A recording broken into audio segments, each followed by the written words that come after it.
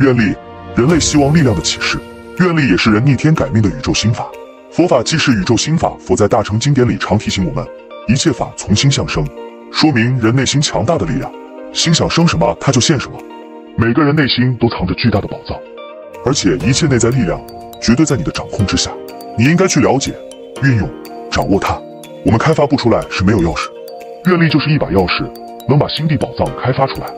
地藏菩萨以大悲愿力著称，他发愿地狱不空，是不成佛，就在教导我们。以愿力发愿，利益众生，开启自信的宝藏。当人完全开采出来，得到真正的觉悟，那就跟诸佛如来一样；而部分开采，就叫做菩萨。地藏经强调两种的力量，一是业力，一是愿力。地藏比喻我们的心地，要犹如大地安忍不动；而藏则表示我们的自心孕育着无尽的宝藏一样。地藏菩萨的名号呼应了我们每个人内在的宝藏。菩萨一词是觉悟之人的称呼，不是神的称呼。佛教被解释为佛陀的教育，而不是宗教。这个教育的宗旨是说明诸法实相及宇宙和生命的真相。大藏经的内容旨在让我们认识清楚自己，进而掌握因果命运，引导我们远离错误和过失，觉悟成佛。愿力是我们内心深处的向往、原动力、初心和理想。一个人的能力再大，智商再高，都抵不过他的正心正念带来的影响。守住初心，向往光明，是一个人立于不败之地的根本。这就叫愿力。愿力无时无刻都在发挥作用。愿力是宇宙中最宏大的力量。如果你决心让自己真正发达起来、强大起来，一定要深刻理解这句话，坚信这句话。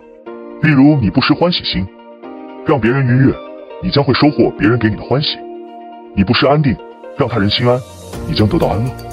相反，如果你施加于别人的是憎恨、怒气、忧愁，你也将被这些东西包围。愿力也叫因果，种什么因？就有什么果实。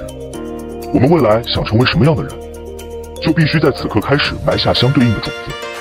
无论你对谁好，长远来看都是对自己好，因为这种好早晚都会回到你身上。真正获利的也不是别人，而是你自己。不论你伤害谁，长远来看，你都是伤害你自己。或许你现在并没有觉知，但他一定会绕回来。不管你对别人做了什么，最后真正接受的人，都是你自己。只不过从别人身上经过了而已。有一种境界叫随喜他的功德，过得好的人能有今天，必定是之前的福报。那么我们就可以顺便祝福一下他的功德，这也是一种给自己增加福报的方式。同样的道理，我们遇到弱势的人，尽可能的伸出援助之手，如能帮助他人心念翻转，到了一定阶段，他们都会一一的回到你自己身上，产生不可思议的福德。如果你给的是嫉妒，是幸灾乐祸。是计较，比较低等的负能量，他们也会折回自己的身上。凡是你希望自己得到的，你必须先让别人得到。你若想被爱，就先去爱人；你期望被人关心，就先去关心别人；你要别人对你好，就先对别人好。这是一个保证有效的秘方，可以适用在任何情况。人生的许多结果，在我们起心动念的那一刻就注定了。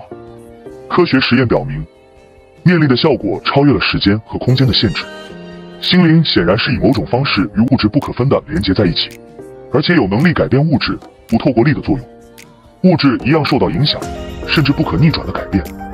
发愿就如同地藏菩萨的大愿一样，强调了如何利他。这并非简单的向神灵许愿，而是全心全意成就众生利益时，与善念共振后，我们会发现自己拥有超乎想象的能量。愿力的增强，利益众生，也带来了改变自己的强能量。